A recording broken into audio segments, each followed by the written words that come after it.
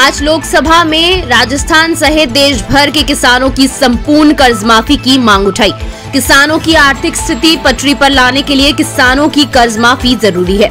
इस मुद्दे के दौरान कांग्रेस पार्टी द्वारा राजस्थान विधानसभा चुनाव 2018 के उनके जन घोषणा पत्र में किसानों की कर्ज माफ़ी का वादा करने तथा कांग्रेस के नेता राहुल गांधी द्वारा 10 दिनों में कर्जा माफ़ी करने की घोषणा की तरफ़ सदन का ध्यान आकर्षित करते हुए कहा कि इस तरह की झूठी घोषणाओं के माध्यम से मतदाताओं के साथ धोखा करने वाले राजनीतिक दलों पर आपराधिक मुकदमा दर्ज किए जाएँ। वह ऐसी झूठी घोषणाएँ करने वाली बात को आईपीसी धारा 419 में शामिल किया जाए और सदन में आज जब बात कही तो कल जयपुर में पीठ को छाती बताने वाले नेता के दल के माननीय सांसदों को यह पसंद नहीं आया, क्योंकि उनमें सच्चाई स्वीकार करने की क्षमता नहीं रही या फिर वो किसी बात को लेकर बाध्य होंगे। श्री हनुमान बेनीवाल जी। सभापति महोदय मैं आपके माध्यम से सरकार का ध्यान देश के किसानों की आर्थिक स्थिति पटरी पर लाने के लिए राजस्थान सहित किसानों की कर्ज माफ़ी की मांग को लेकर प्रधानमंत्री जी सरकार का ध्यान आकर्षित करना चाहूँगा। महोदय किसानों को सत्ता में आने का माध्यम राजनीतिक दल बनाते हैं। इसी प्रकार राजस्थान की वर्तमान कांग्रेस सरकार ने अपने जन घोषणा पत्र में 10 दिनों पर किसानों की संपूर्ण कर्ज माफ़ी की बात कही। भोले भाले राजस्थान के किसानों को ठगा उनका वोट लिया और कांग्रेस कल जयपुर में जब कांग्रेस पार्टी एक मिनट रुको साहब आपका घोषणा पत्र है ये मैं देख रहा हूँ।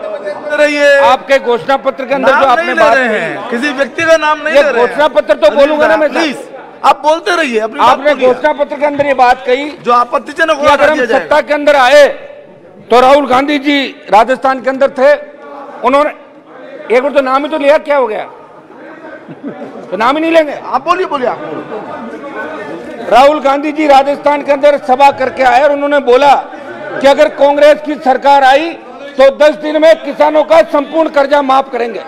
सभापति महोदय 10 दिन के अंदर संपूर्ण कर्ज माफ़ी की बात करी और किसान का राजस्थान में कांग्रेस के सत्ता के अंदर आने के बाद किसान आत्महत्या करने को मजबूर है।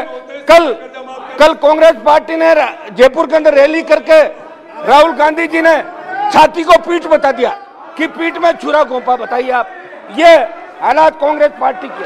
सभापति महोदय मैं मांग करूँगा कि ऐसे दल, ऐसे राजनीतिक दल जो गलत तथ्य पर आधारित कर्ज माफ़ी की बात करते हैं या जो झूठे लोग लुआब ने वादे करके घोषणा पत्र के अंदर झूठी बात करके सत्ता में आते इन लोक लुभावनी बातों को छल की श्रेणी में लिया जाए। 419 की जो आईपीसी की धारा है वो इन राजनीतिक दलों पर लागू हो तभी दोबारा ऐसे घोषणा पत्र ये लागू नहीं करे। जनता को बरगला के कांग्रेस पार्टी ने कल जयपुर में जो एक एक फ्लोप शो किया और जो.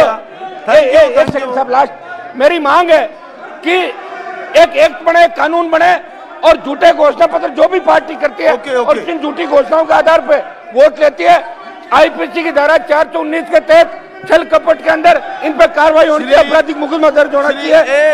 मेरी मांग है आपके माध्यम से। कोई नाम नहीं जाएगा रिकॉर्ड में।